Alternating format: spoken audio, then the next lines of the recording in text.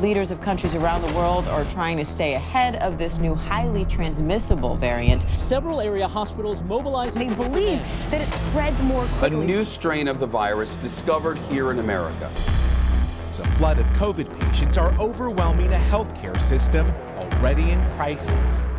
The response to the COVID 19 pandemic has been firmly rooted in science. It has focused global attention on the need for rational measures to reduce risk and effectively treat those afflicted.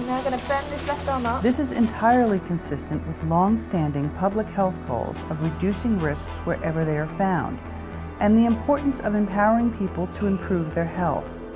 The implementation of strategies to contain the disease, such as hand washing, mask wearing, social distancing, and the development of vaccines, are all based on science, as they should be. The smoking pandemic has been going on for at least 50 years and claims 20,000 people per day globally. The cause is the use of toxic tobacco products as a way of obtaining nicotine. The enormous harm associated with nicotine is almost entirely due to the way people get it, rather than the nicotine itself.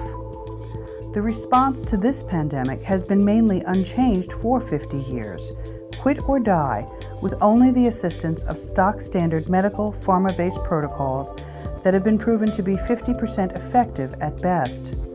New, safer products have largely been ignored or vilified, with the exception of the United Kingdom as a means to address the smoking pandemic. This begs the question if governments trust the science around COVID 19, why do they not trust the science around tobacco harm reduction? Join us as we discuss this at the next Voices for Vape webinar to be held on 21 March 21 at 1 p.m. Hong Kong.